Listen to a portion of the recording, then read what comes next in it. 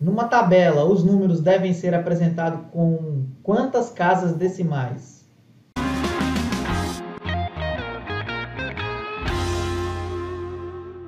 Então, olha, é interessante no artigo científico a gente padronizar, tá? Isso mostra organização. Então, vamos supor, se numa tabela, vai depender muito do nível de precisão que vocês precisam, tá? Mas, no geral, a recomendação é use o menos possível, um menos que não prejudique o trabalho de vocês.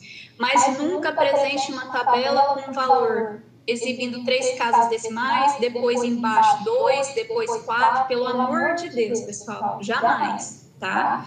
É, então, padronizem. Se vai usar duas casas decimais porque é o ideal para o trabalho de vocês, padronizem duas casas decimais ao longo da tabela toda, tá?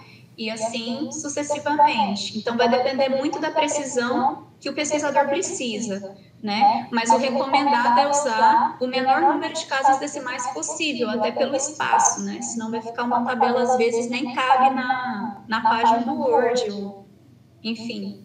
É, galera, o, me, o menor número de casas decimal possível para você fazer cálculos com números mais quebrados são três. Então, por exemplo, se você usar duas casas decimal, é o normal, né? Que você vai usar, ok.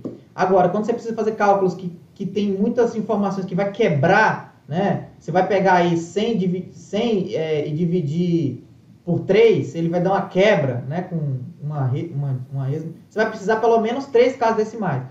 Mas 3, 3 casas decimais é o bastante para ele conseguir fazer esse cálculo, então a diferença é muito mínima, tá? Ou até mesmo não, não ter.